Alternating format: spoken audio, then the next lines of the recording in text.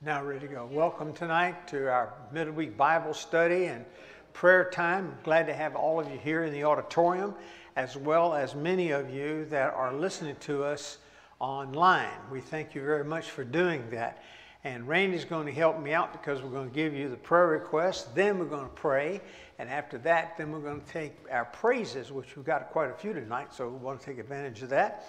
So let's start off with Randy giving us the prayer request. Where did Randy go? He's Okay, here. I'm right here. Okay. I'm here at this mic. Get it on, buddy. Okay, prayer request tonight. Please remember uh, Jean Sisk. Uh, Jean's not doing well at all. She's at home uh, in comfort care, and uh, uh, one of her sons was there last night. Her other son was on vacation down in the Caribbean, and he's trying to get back here, get his flights lined up, so he can get back here and see his mom. But she had uh, she had kind of a sudden spell come up on her yesterday evening and put her down in the bed. So uh, please remember her and remember her husband Frank. Frank's got a great concern for Jean at this time. And then Thelma, Thelma Robson.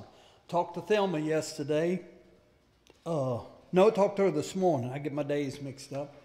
Uh, she she didn't get in here with us on Sunday morning because her uh, the dizzy spells have come back on her. She had one Sunday morning, so uh, the vertigo medicines were not helping. So uh, she's waiting to get back in to see her doctor, and I think they're going to restructure some of the medications that she's taking. Um, she was doing pretty good this morning, but all of a sudden, I think uh, her uh, balance can get get off real quick. So, and uh, and brother Dave Group, we want to remember him. Dave's got a issue with his back, and he's he's got great discomforts, and uh, he's been in this before, and he usually gets through it. So we want to pray him through it this time. So Amen. let's let's remember him. So they're, they're, they're the prayer request. That's that's what I have right All righty. here. in front of me. All right. So if we could, let's join Randy in prayer. Randy, if you'll pray, we'll be praying with you, okay? Okay, all right, let's pray. Father, we come to you just lifting up Jean tonight, Lord. Uh, just pray you into that household uh, to be with them at this time. Comfort the family as they come in, the boys as they come in to be with their mom. Uh, just strengthen them as they go through this time. I know it's hard on each one of them, Lord, but with your help, with your love, it makes everything so much easier. So remember Frank, we just lift him up, Lord. And uh, he, he's, the, he's an excellent helpmate, therefore. And just uh, continue to comfort him at this time. Also, Sister Thelma Robson and this, uh, uh, this dizziness that she's had, uh, some form of vertigo, we pray for her that the doctors will get this straight and she can get herself established and uh, back on level ground again. Take all of that away from her. And then remember Dave, Brother Dave, uh, this back issue. Uh, the, we just pray for Yes. comfort for him, get that straightened out. We know that you can get healing to him, and that's what we pray, Lord, that he be healed of this pain and discomfort that he's going through. Thank you for all you do. There's so many prayers, requests we could put on you, God, but um, I just can't think of all of them right now. But you know the others that's out there. I lift each one of them up in Jesus' name. Amen. Amen.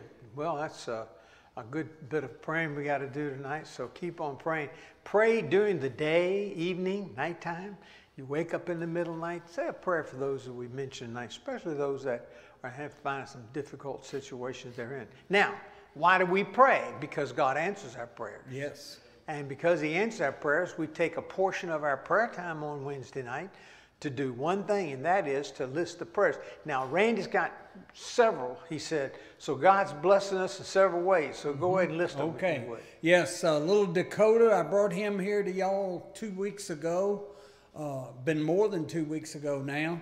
Uh, he actually drowned in a pool and uh, he was uh, taken out of the pool and the family worked with him and was able to get him back to breathing, but he wasn't conscious and he was taken to UVA hospital and at UVA uh, they worked with him up there, and just this week, uh, he was released from UVA hospital and sent back home to his mom and dad. So he's back with his family. Amen. So there was a there was a tremendous miracle done there with little Dakota. And then our brother Jonah Leonard, uh, he's still in pain, and he's going to the doctor again tomorrow. There'll be a procedure tomorrow for what he's been going through with kidney stones, and they've removed the stones. Amen. But there's one more procedure that they'll do tomorrow, and hopefully, when they get that procedure done, it's going to relieve a lot of the discomfort that he's been going through. So, Good. but uh, he is just a little bit better, and but tomorrow should be a whole lot better. And don't sing on Christ the solid rock we stand. That's right. Uh, yes. Okay. Amen. Well, I love the part of prayer time we do with, with the blessings. Quite frequently, you'll notice I, uh, I like to pray a lot at the end of that. And tonight, I'm going to lead us in prayer uh, because I enjoy telling the Lord about it. So, if you would join me, if I could, please, Alan, I'm going to ask you to run upstairs. This thing is making a ringing noise. Um, Dave, do- can you tell him exactly what needs a little more bass or something? What is it? Huh? It's coming out of the speaker? Well, don't take that away. Yeah. I'm hearing, I hear myself. Uh huh. I have to hear myself. Are you all set? That sounds a little bit better. I don't know what you did. If you didn't do anything, just stay up there. No, I'm joking. All right, sounds good. Let's pray. We enter into your presence tonight with thanksgiving and joy because you have allowed us to be joyful because you've answered our prayer. Lord, when I think about that little boy drowning, I think about how much we read in the Word of God where you came to people that had no answers, and yet you gave the answer when you healed and blessed them. And in every case, you told them, go because of their faith. In faith, we prayed for people like we are now about people that are, are ill. We're praying for people that's facing situations in their lives that, that's a little more difficult than words can explain. But Lord, we rejoice in knowing that you and you alone are responsible for every single good and wonderful thing that comes from above. And for that reason, we praise your name for the answered prayer. I thank you for my wife Linda's getting over her illness and being able back to live with us last Sunday playing. I thank you for the, the people that have been sick here that are back. And I pray, Lord, as we have already, for those that are still hurting, answer our prayer, Lord. Heal in Jesus' name that we can be able to come together next Wednesday night and we can give praise and honor to you. And we do all this in Jesus' name. And all of God's people said, Randy, will you get the group up here real Dave? quickly? Yep. I got uh, We got Dave Brother singing Dave with Hammond Randy. Yeah. Now, Dave is a Methodist on Sundays and a Baptist on Wednesday, Yes. okay? That's right. So, I might add, God's not a Methodist or a Baptist, is he? that's right. We'll straighten you out. Don't worry about it, brother. All children of God. I think uh, Mel's watching us tonight, and if he is, he was supposed to be here tonight. He was supposed to help me with the song here tonight. So, Mel, we're missing you here. This here I found in an old uh, uh, music book at the house I had, and it's the title uh, y'all have all probably heard. It's called "How Beautiful Heaven Must Be," and uh, so we're gonna do a couple verses of that. We read of a place that's called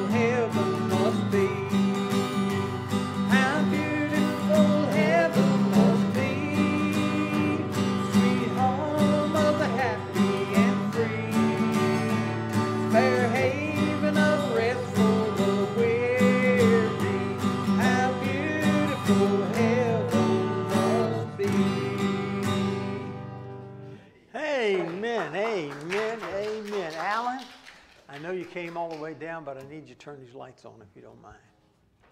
Thank you very much. I appreciate Thank it. you, Dave. I'll run you to death tonight running down them steps. It's all right. I tell you what, Alan is a special blessing to me. He always takes care of me from the very get go. The very first Sunday I was here, he took care of me, and he's been doing it ever since. And uh, make sure my mic works. And uh, pardon? I'm She sorry, I said you. you haven't been the same since.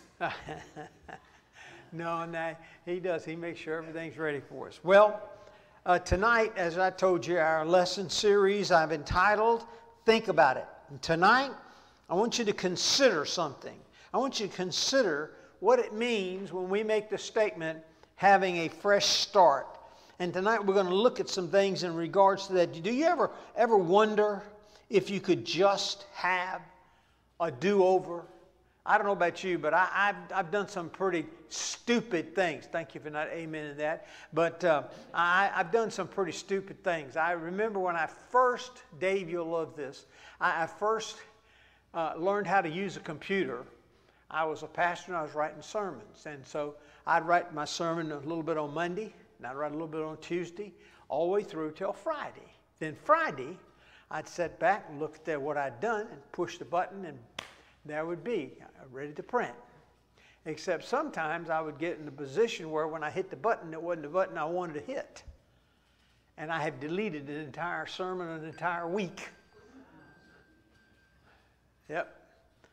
That's when you want to go to the bathroom, look in the mirror, and say, stupid. Anyways, um, I don't know if you remember, but several years ago, Staples Office Supply had an ad on t- television that they ran a lot, and they talked about pushing the easy button. How many of you remember seeing that commercial on TV? Uh, push the easy button. Well, you know, I bet you would like to have, if you could, to have a, a easy do-over button that you could push. Um, and, and, and, being able to say, you know, I messed up here and I shouldn't have done it here, so I will push this button and it'll cause me to, to do that. Can you imagine what it would be like to be able to undo all the mistakes that you make and all the errors you make? Uh, and, and, and do it seriously, not fooling around, joking. I mean, being honest with yourself and with God that this should have never happened. I mean, mess up with uh, a project that you're doing. Uh, I, I, don't work very good with my hands, so if I do a project, I usually got to have someone else doing it, me help and hold. That's my key phrase help and hold. Uh, help, and then I hold something with them, do the nailing, the cutting.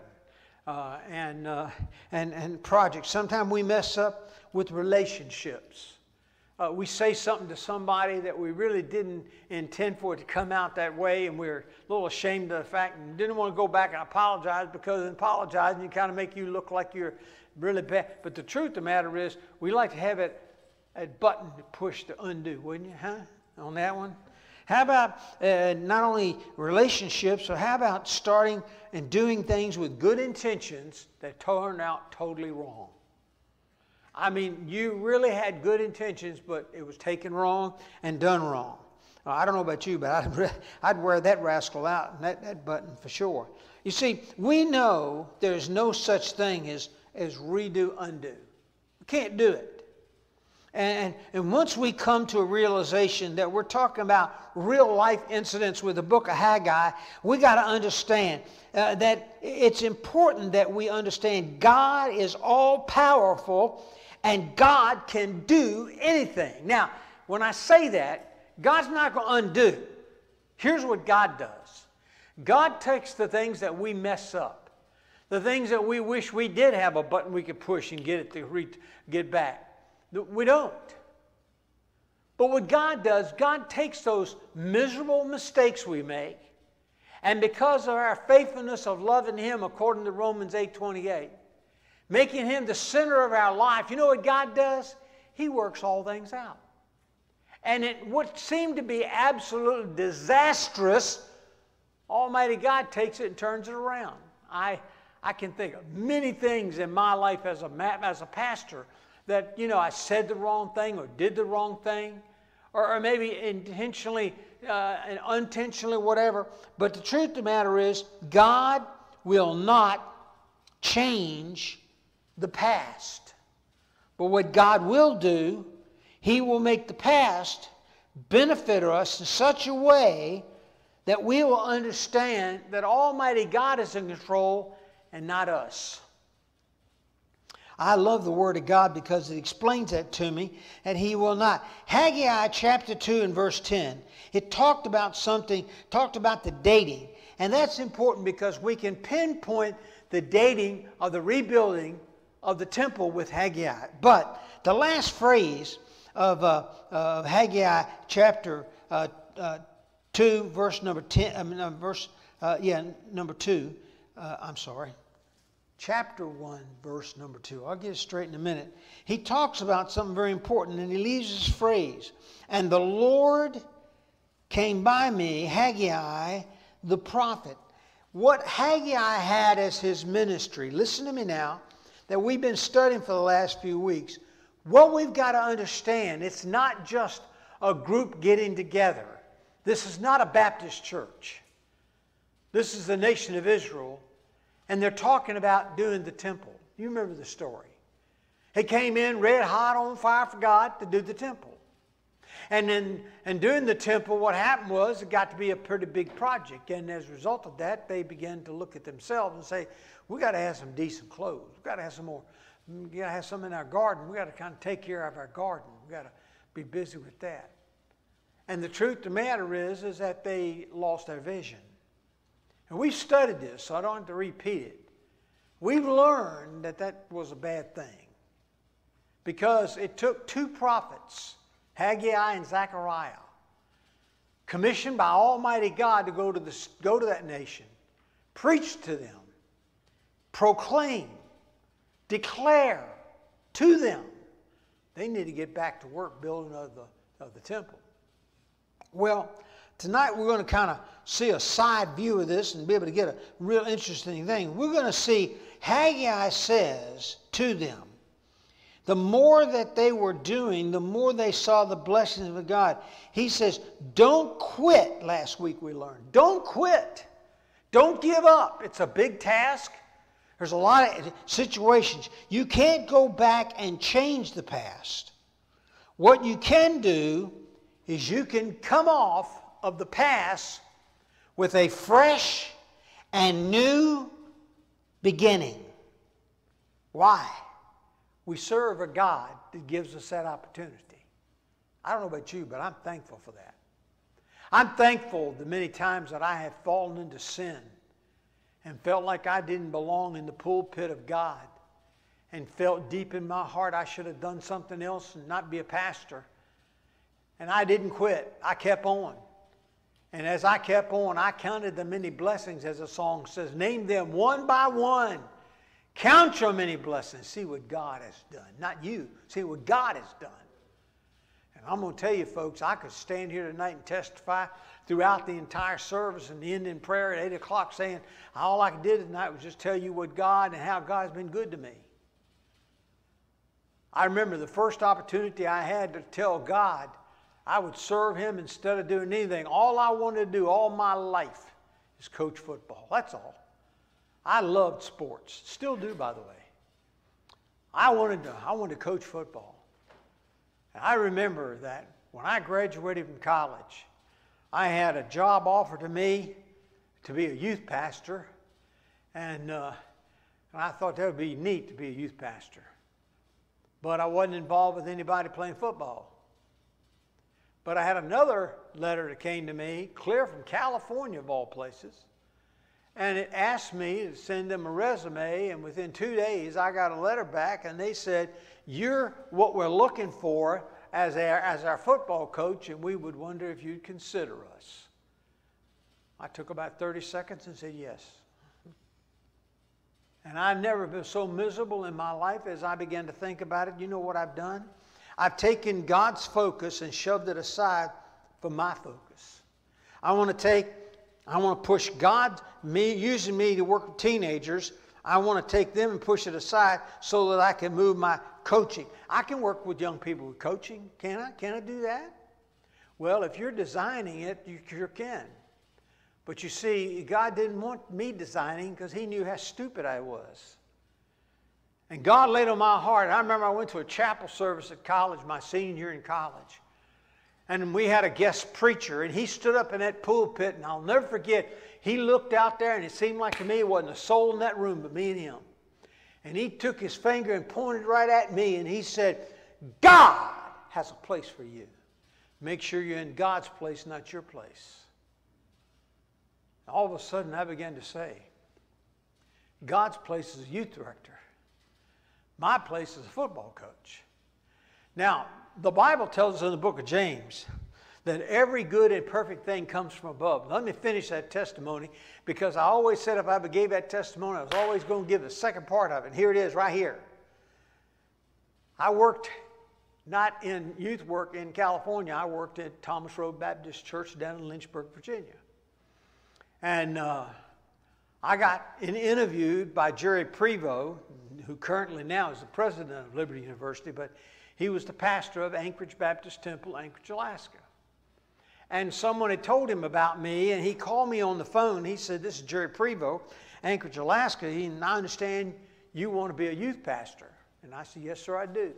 He said, Would you consider coming to Alaska? Do what? Come to Alaska. Man, I didn't think I'd move away from home, Fredericksburg to Lynchburg. That was, my, that was too far for me. And you want to come to Alaska. How far is it? 5,000 miles? Is that all? 5,000 miles.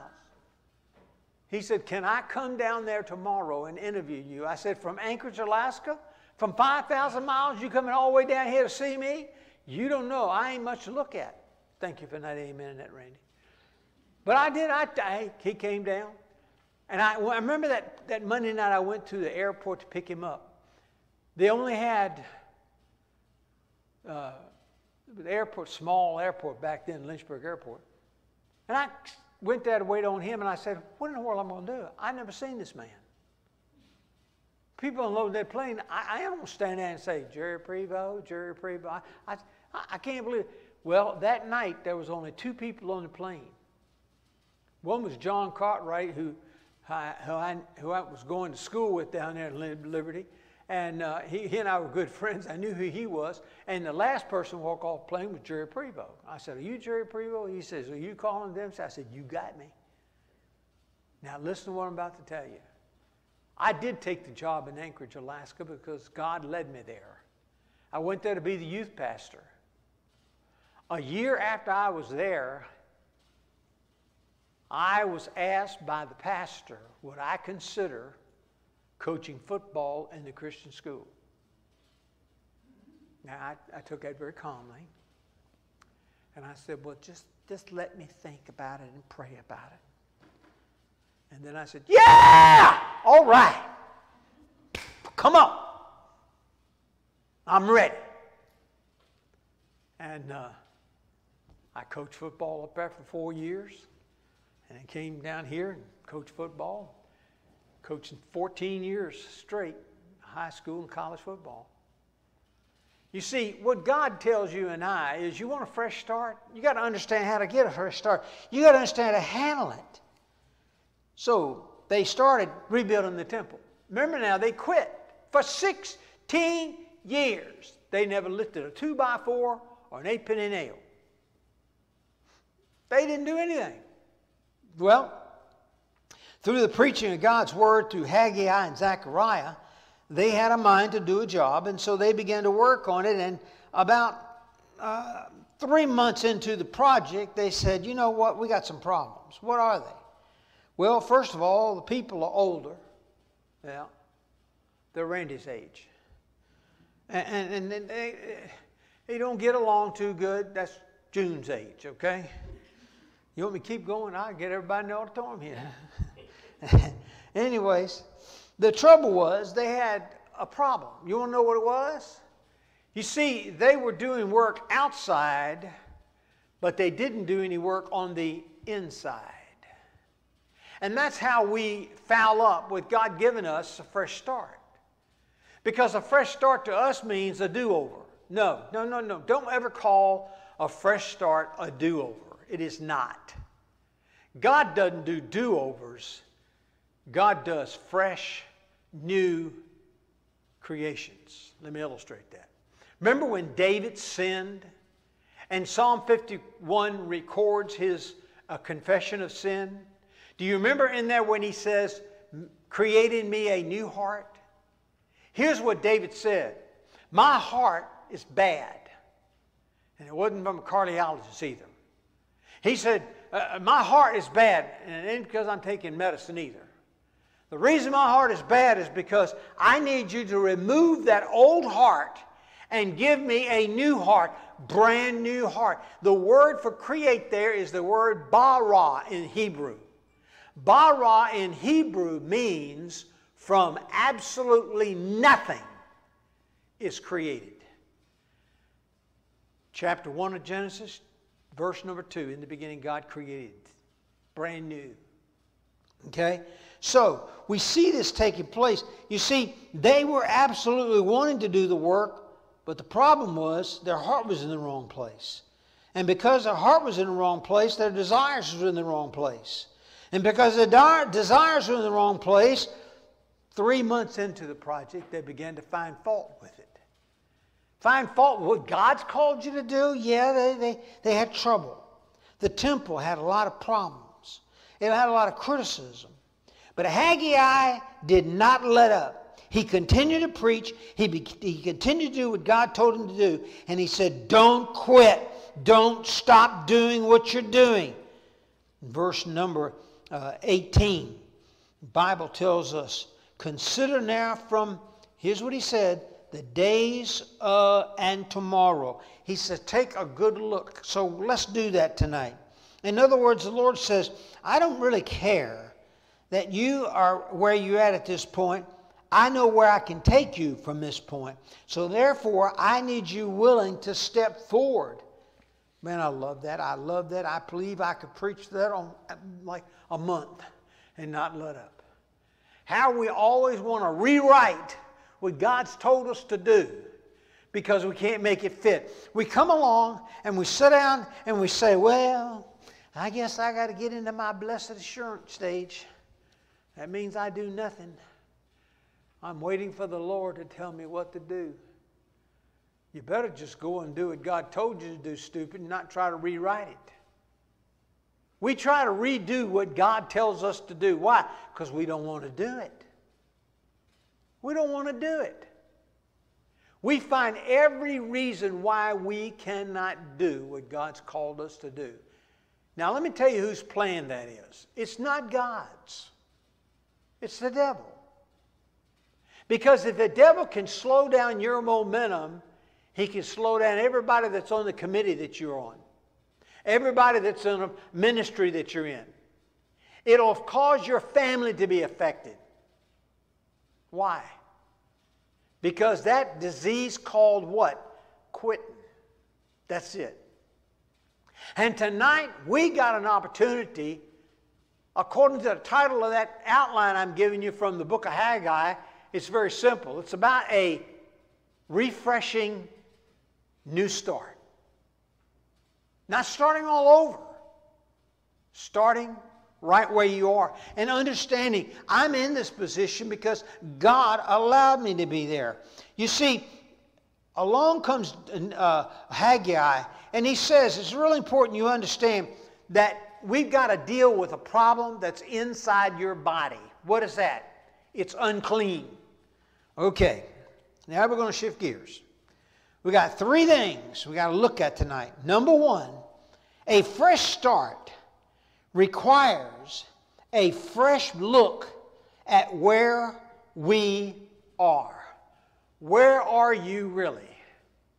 You know, I've been blessed in my 51 years of ministries. Last weekend was 51, by the way. Uh, I've been in good churches. I've not been in a bunch of churches that fuss and fight and carry on, and, and people that you know want to have a power struggle, to let everybody know they're they're, they're members of the church because their grandparents are members of church, and their great grandparents are members of church, and, and uh, they, they, as a result of that, they think they got more to say than anybody else does. And um, I always preached to my teenagers that you're just as important as the oldest member of this church. Y'all agree with that? Huh? That's right. But That's not how we operate. David, I mean, uh, Haggai says, take a fresh start. And it requires for you to do something. What's that? Look where you are. Understand that it's very likely you are trying to do God's work unclean. Unclean. Now, he's not talking about washing your hands. We did that when we had the COVID. Remember on all the bathroom windows you went into, the mirror had a big, big window that said, wash your hands? I always ask myself, who uses the bathroom and didn't wash their hands before COVID 19? They should have had a sign up sheet. I just use the toilet and I'm not washing my hands. The truth is, is that Haggai is saying something. He said, uh, the, it's important that you understand that we're talking about the flesh. We're talking about the, the, the, the, the pottery. We're talking about all the good things that God has allowed you to have to do your building of the temple, but there's one thing you don't have, and that's you need to understand about being unclean. I'm glad tonight that we got the opportunity to look at this because it's going to teach us something. So hang in there. Haggai said, I want to ask you something. I want to give you an illustration. And when I give you this illustration, it's a picture of what's going on right now in your lives. I want you to look where you are right now, and I want you to see it this way. You see, there's a culture out there that's got a background that says that you can excuse unholiness. Let me say this to you, folks. We've lost the desire to be holy. We want to justify our sins. We want to make it sound like everybody's doing it. We want to make it sound like everybody's uh, being participating. It's okay because everybody. No, no, my dear friend. Let me tell you, sin is so absolutely wicked that we don't have any trouble identifying. God lets you and I know that is sin. That is wrong. We are the ones who have to deal with it. You see, Haggai was referring back with what he had to deal with in studying for this sermon. What was that? He had to study the book of Leviticus. Leviticus said that the temple and all about the temple was all to be understood to be holy. So every day you come to work, you need to prepare yourself and get yourself ready to work on a brand new temple, and that's your fresh start. Now, why is that so important? This is the temple we're talking about. It could easily be con- uh, contaminated. If you don't mind, sin is so contagious, it'd make COVID 19 look like a, a bad cold. That's the way sin is. And when you think you ain't got anything to worry about, that's exactly when you catch sin. And sin robs you of your joy. Sin robbed you of your relationship with Almighty God. And as a result of that, when you think about taking a fresh start, you got to understand why do I need a fresh start? Glad you asked. Because you took a good look at what you are, where you are. You realize, hey, I got to work on the temple today. I got to go in and get myself ready. Let me see, I got to go get my tool belt. Got to go get my hammer, my saw, my nails. If you're a mason, you got to pick up your trowel and your level and your string. Every good bricklayer's got string. Amen. But wait a second. How y'all going to work this morning? Oh, the temple's right here at us. We, we just walk to work. Okay, what are you doing when you get there? Go to work. We quit 16 years. We're trying to make up lost time here. How are you preparing to work? Uh, well, we're, letting the, the, the, foreman tell us exactly what he wants done. We're, we're doing following his instructions, and his instructions come from God. So I guess you might say we got the ideal architect. That's true. But how do you know you're not contaminating your workspace? Hmm? Can I suggest something to you? Do you ever think about your bad attitude? Yeah. How many of you, don't raise your hand, how many of you ever come to church Sunday morning with a bad attitude? Somebody in church ticked you off and you drove in the parking lot and the first person you saw was them getting into the car getting ready to go in church. And you said, Oh, no, I don't believe it. Jeez. You almost want to crank your car and go to another church, right? And then I pull up and go, Hey, good to see you. And you say, I better go to church. You'll wear me to death. Did you ever think about before you got out of your car what you needed to do with your family? Randy would like this. You know how people in the Old Testament came to church? They came singing. And it wasn't gloom, despair, and agony on high me. Deep, dark depression, excessive misery. It wasn't that. They sang victory in Jesus and hallelujah, praise the Lord. Oh, I'm getting ready to warm up right now.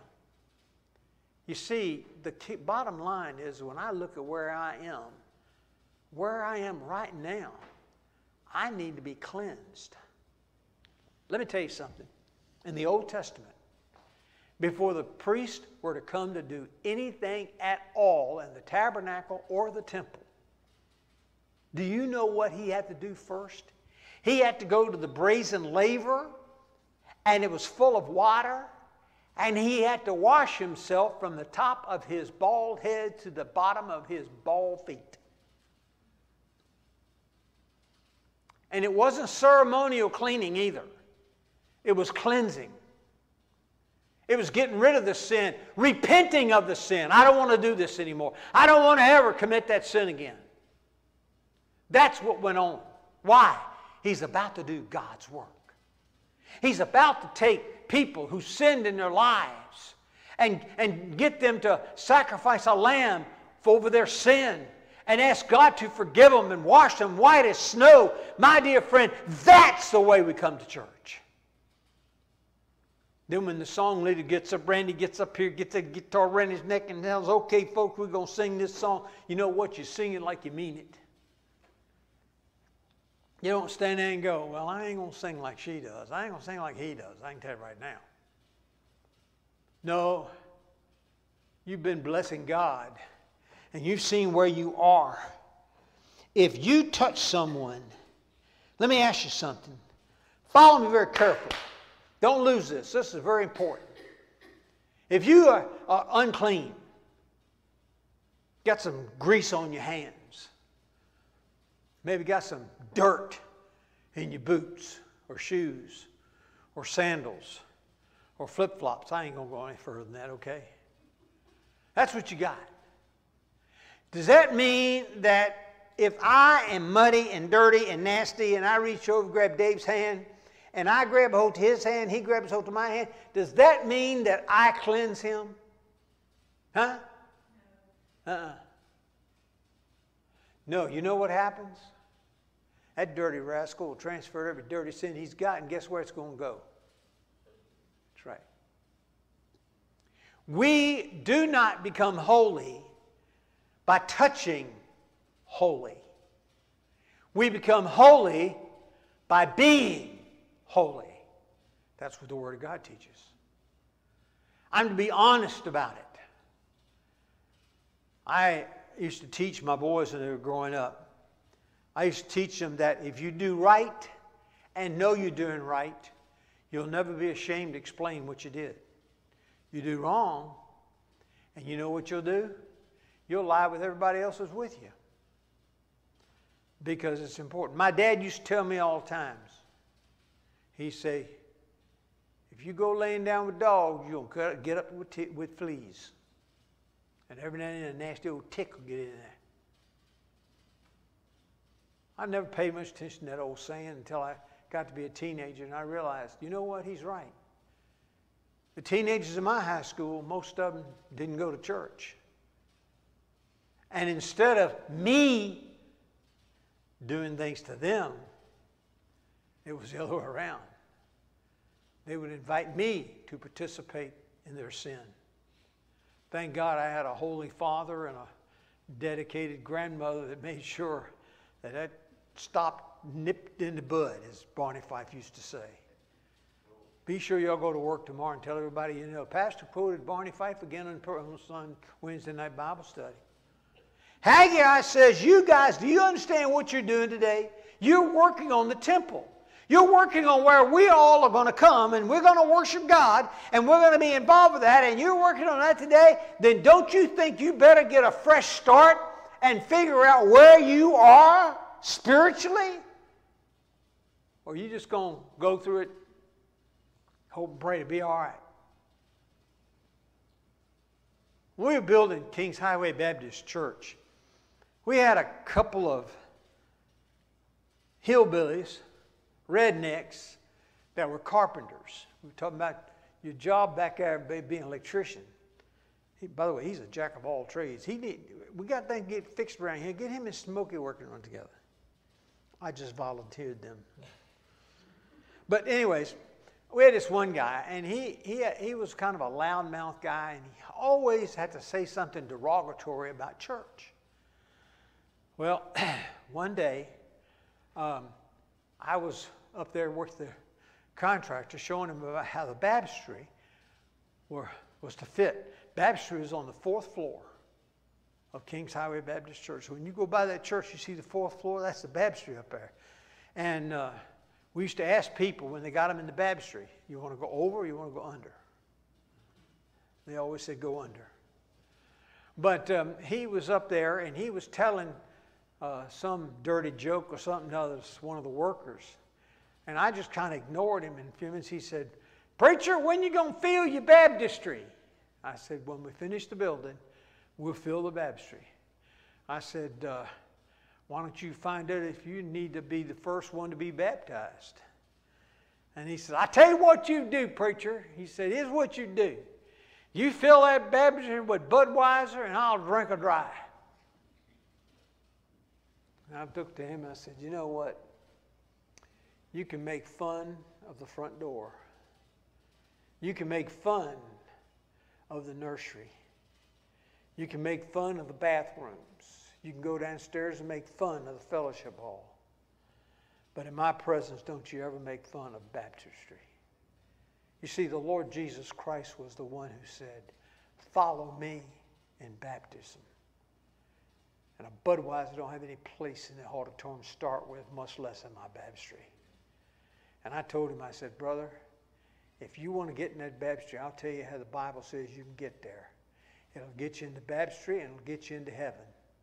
But I said, with that kind of attitude, let me tell you, you ain't got to worry about it. You know that man left that job that afternoon and never came back?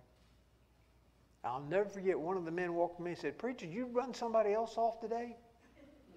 I see, I did. And I'm not going to miss him either. Let me say something about Haggai. He was a preacher. He stood and told people for 16 years get back to work. Get back to work. Get back doing what God wants you to do. Get God back in your focus. And the Bible says that when they didn't do it, Instead, they took of getting nice clothes and getting a nice garden and getting themselves all ready and eating and having a big time. Things didn't go well.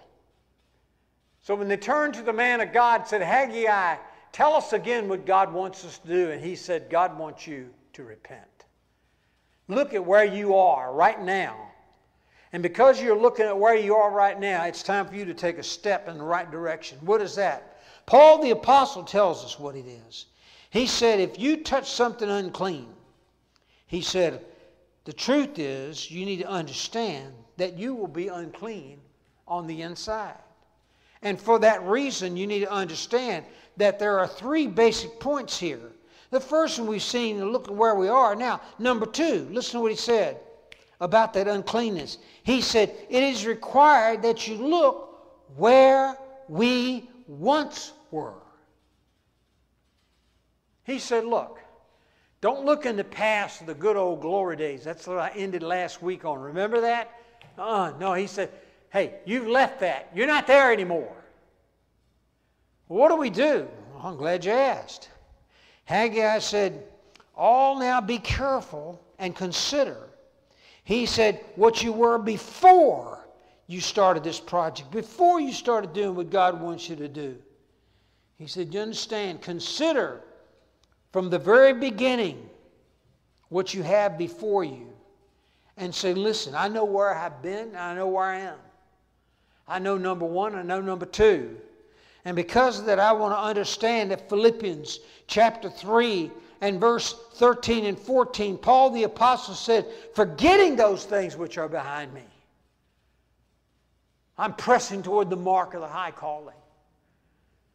Oh, I wished I had another hour just to teach on this lesson alone. It's time for you and I to look ahead, not backwards. I started praying every day for a revival.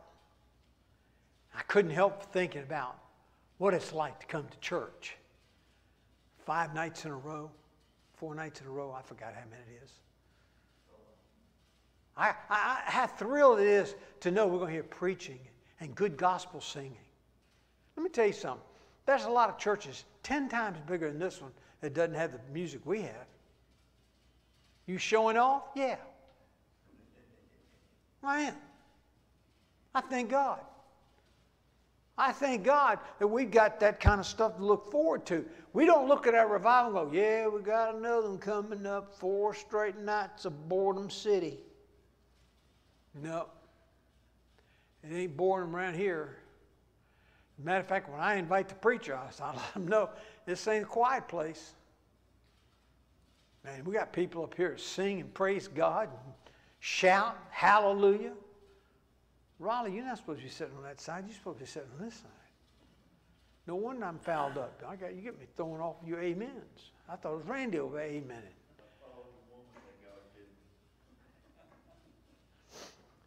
Randy got to wake up now because you're sitting over there. I want you to know something. Paul the Apostle said, I want you to know I press toward the high calling. I do. The nation of Israel needed to hear that. Why? Because they needed to know that God was still on the throne and that God was dealing with them. And God was saying, I want you to build my temple. What both Haggai and Paul the Apostle was saying to people was very simple don't look backwards, look forward. Which what? What does that mean? That means I've got to understand that Almighty God's got his hand on me, and if I follow his leadership, glory to God, I know I'm going to end up on the winning side. Haggai said, I want you to understand something. I want you to understand that in the New Testament, Ephesians correlate with Haggai. And Ephesians and, and, and Haggai say, what? He said, By grace are you saved through faith, not of yourselves. It is a gift of God. Ready? Not of works. You didn't do a doggone thing to get saved. Nothing. As a result of that, he made it real clear we're his workmanship, created in Christ Jesus. As a result of that, my dear friend, I know where we have been. I know where we are, but wait a minute, we've got a third point. What's that? Take a fresh look at where we're going. Now, this is really exciting to me. Where's our church going? Huh? Well, let's see. I guess we just got to figure. We'll just do the best we can, bless God, and give it everything we got. Bless God. Why don't you reverse that? Bless God, and then let Him tell you what He's going to do with you. What are you doing? Huh? Where are you going? The truth of the matter is, is that everyone in this church, everybody part of this church family, has got a knowledge of where God is leading. So what do you do? Here's what you do. You get on board. You say, hey, I know what Randy's goal is with the music. Randy, I'm praying for you and praying with you. Do you mind if I do that? No. You sure? You sure? Yes. There you go. He's asking for it. He's asking for y'all to pray for him. Alan, what are you going to do? Huh? Same thing. You want him praying for you? Huh?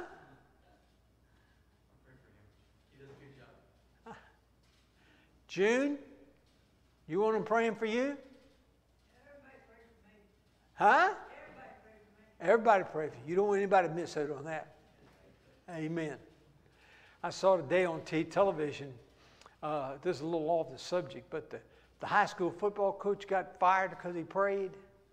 And Newt Gingrich had a pretty good statement. He said, he says, I thought we believed in the First Amendment, freedom of speech. That man can talk to whoever he wants to. Haggai says, You know what you got to do? You got to understand. If we're going to be looking for a fresh start, we got to look in the right place. Where's that? God's plan. We got to see what it is that God wants us to do and what God has for us to do. We got to see it's not in just overcoming uh, low batteries. No, it's not just uh, coming to a place where we enjoy each other's company. No, no, no, no. It's not a social club. It's not about just staying where we are. Nope, nope. God wants us to move on. It's not about us having to stop and think about where we're doing, what we're going. No, we made it up mind years ago and we're just following God's plan. You've been without work for 16 years. What are you going to do? Go to work. Not going to quit. I'm going to go. This is where I was, this is where I am, and that's where I'm headed. Amen. Glory to God. And as a result of that, what happens? Bible says, according to Haggai, God is going to open up the windows of blessing on you. That means God's going to take care of you getting stuff done, accomplishing. Driving all the way from Fredericksburg out here almost every week we're not sitting in the car riding along 17, just talking about sports and car racing and all kinds of stuff. No, Dylan and I are in the car coming from Fredericksburg.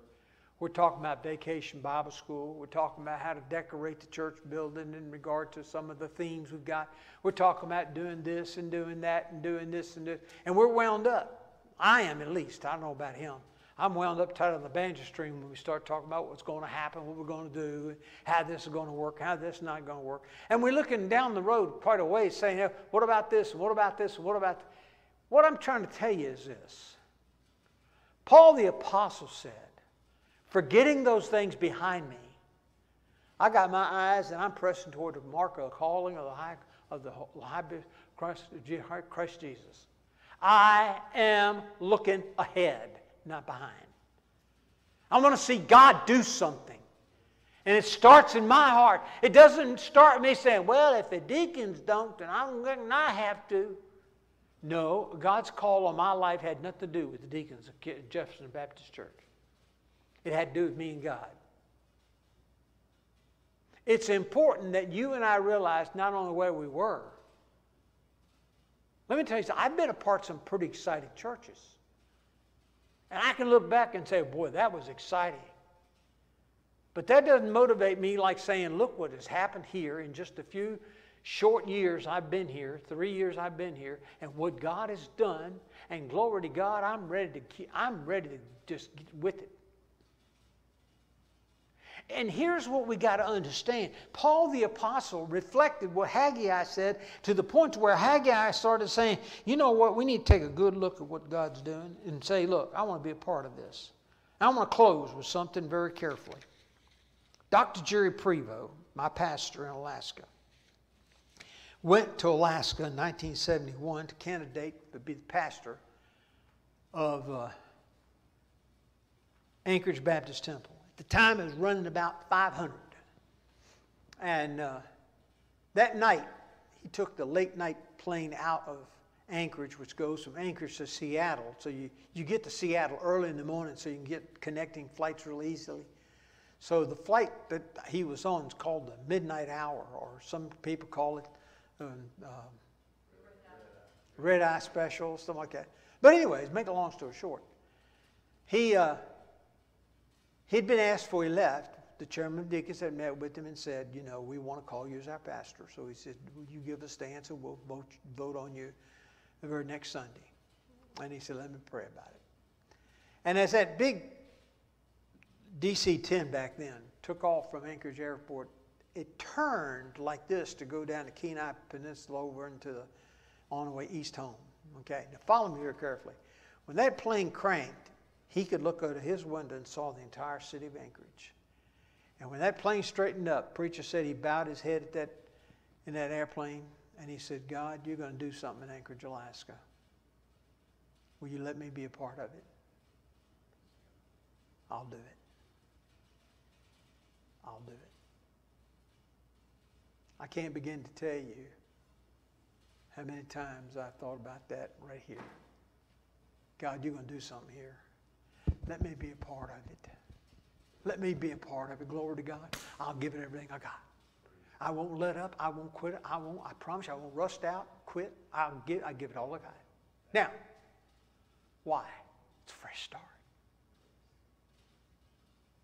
I had a preacher friend of mine insult me yesterday morning. I told him he did. I said, "You dirty rascal! You discourage me." He said, "You you want a church at your age?" I said, "Well, look. Before you take that." Uh, walking cane away from him. You better get it away. I'm about ready to knock you in the head with it. Yeah. I, I, I, age has nothing to do with it. That's what's got to do with it right here. Fresh, new start. Let's pray. Lord, thank you. Thank you so much for tonight. Thank you for the privilege to be able to preach like this and teach like this And to talk about you and what you have plans here and how you plan to lead and guide and direct. And Lord, I, I don't take that lightly. I do not take it lightly. And I pray tonight. Thank you for the music. Thank you for the prayer time. Now we look forward to Sunday, Father's Day. We're going to have a great time, Lord. In Jesus' name, amen. All of God's people said? Amen. Did you learn anything tonight? Yes, Did you really? All right. That means you'll be back next week.